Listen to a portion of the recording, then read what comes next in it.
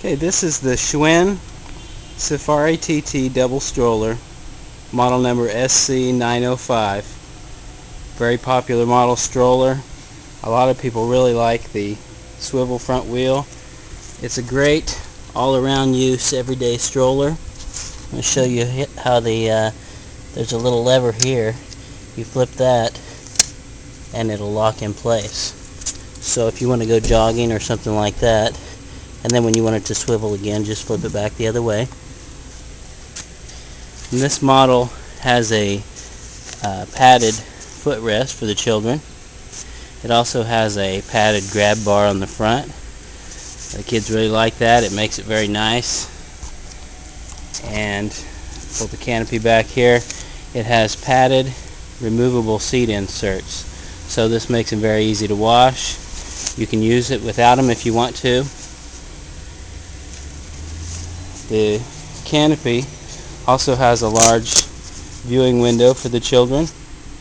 You can keep that open, you can keep it closed, depending on whether you want to keep them in the shade or if you want to see them. This model has the one-hand folding system. There's a little lever you push here. When you squeeze that, the whole stroller folds right up. Very easy. It folds up to be very compact and then if you need it to be even smaller there's a quick release.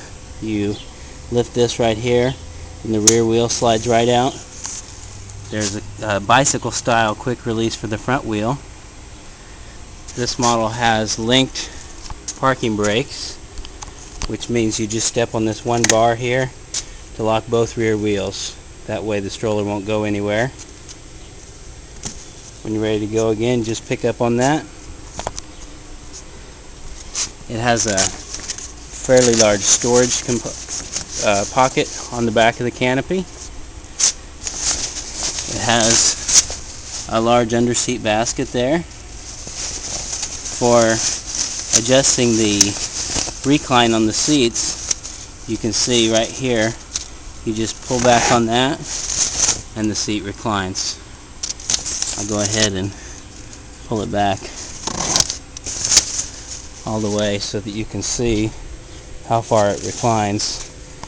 Now, it doesn't go completely flat, but it's pretty close. It's definitely a very comfortable sleeping position. This side here, as you can see, they don't go fully upright either. Of course, you wouldn't want them to when you're jogging and you stop, they would go forward. So there's a slight recline when they're all the way up. They recline to nearly flat.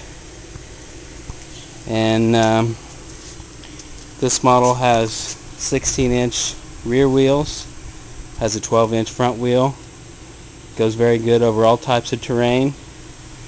It has the padded push handle and this is not an adjustable height handle. This one is a fixed handle. But um, pretty comfortable height for most people. So unless you're very short or very tall, would probably work out just fine for you. Great model stroller.